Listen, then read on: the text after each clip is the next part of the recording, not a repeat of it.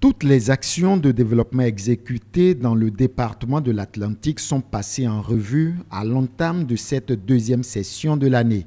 La question des cantines scolaires a aussi retenu l'attention des participants. Aujourd'hui, dans les écoles où il y a les cantines, il est regrettable de constater encore qu'il y a la ségrégation et on constate que des enfants qui ne payent pas ce qu'on leur réclame n'ont pas droit à ces repas-là.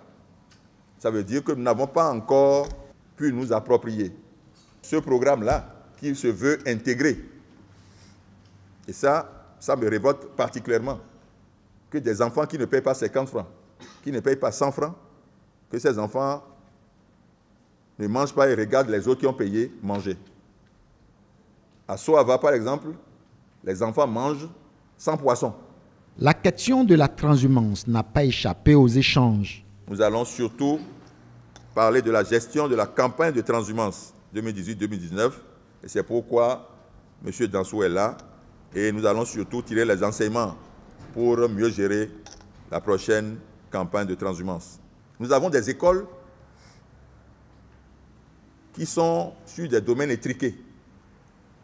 Il faut que nous puissions régler ces problèmes et que ce que vous construisez, ça, je voudrais au moins vous tirer chapeau, beaucoup de choses, beaucoup d'infrastructures scolaires sont construites, mais que ça, désormais, des, écoles où nous avons de l'eau. Je voudrais féliciter par exemple le maire de Ouida qui a pu tirer l'eau et de la lumière pour le centre de santé du deuxième arrondissement. C'est ce que nous voulons dans nos centres de santé. C'est ce qu'on appelle l'accompagnement. L'accompagnement que nous attendons des élus communaux. Le CDCC occupe les maires et autres acteurs de développement pour toute la journée avec pour ambition principale d'informer et de prendre des décisions importantes.